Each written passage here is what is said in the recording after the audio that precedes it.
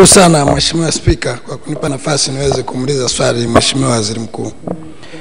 Mheshimiwa Waziri Mkuu, tarehe 24 mwezi wa kumi mwaka 2019 Mheshimiwa Rais alitoa agizo la halmashauri za vijijini ambazo zilikuwa zinakaa mjini kwamba ndani ya siku 30 ziweze kurudi kwenye maeneo husika ili kutoa huduma karibu na wananchi na baada ya siku 30 halmashauri nyingi zilitekeleza agizo hilo, lakini Mheshimiwa Waziri Mkuu, kumekuwa na shida, inaonekana kama kuna kukaidi agizo la Mheshimiwa Rais, maana wamehamisha ofisi lakini makazi bado wanarudi kulala mjini, hata kama kule walikohamia kuna nyumba, na inapelekea halmashauri kuzipa mzigo wa kugharimia mafuta kila siku ya kurudisha watumishi kwenda kulala mjini.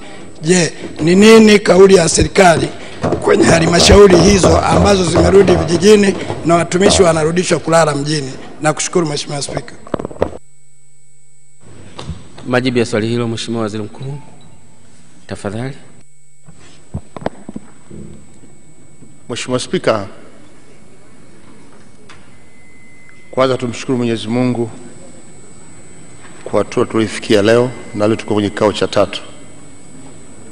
Naomba nijibu swali la Mheshimiwa King Msukuma, mbunge wa Nzela, Geita Vijijini kama ifuatavyo.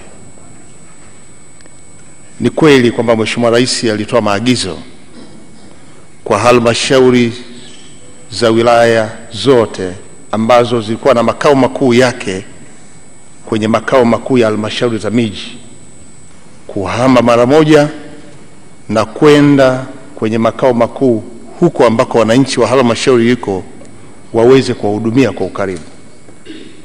Agizo hili halmashauri nyingi zimetekeleza, na mimi nimepata bahati ya kupita kwenye baadhi ya halmashauri kwa wafanyakazi wenyewe kwa kuhamisha ofisi zao na kuhamishia kwenye maeneo hayo mapya, lakini na wao wenyewe kuishi huko.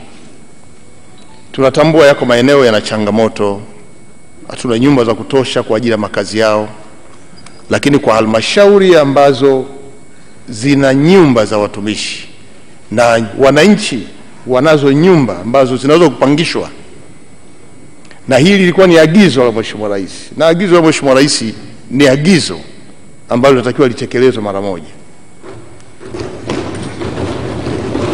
na kama ambavyo pia Mheshimiwa mbunge Msukuma alivyosema kwamba huko kuna makazi, kutokwenda ni kuvunja amri, kukataa amri ya Mheshimiwa Rais, na ni kosa kubwa sana kwenye utumishi wa umma.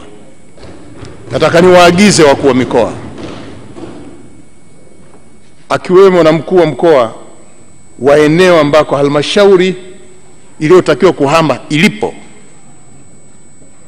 katibu tawala wa mkoa ambaye pia ni mtendaji mkuu kwenye mkoa huo ambako kwenye halmashauri zenye mazingira hayo ambayo watumishi wametakiwa waondoke kwenda kwenye makao mapya hawajaenda, waondoke mara moja, kwa sababu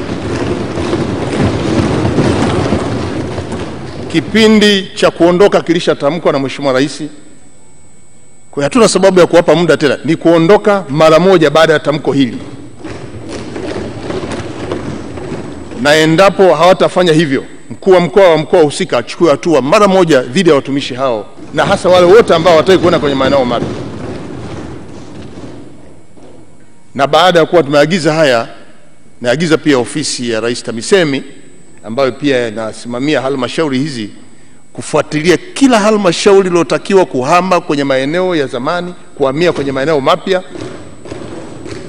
ili watumishi wote waweze kuhamia, na mtahitaji taarifa hizo kesho kutwa Jumamosi ofisini kwangu saa nne ili nijue ni halmashauri gani ambayo bado watumishi hawajahama ili tuchukue hatua nyingine za kinidhamu kwa watumishi hao. Asante sana Mheshimiwa Spika. As, asante sana Mheshimiwa Waziri Mkuu, tunaendelea.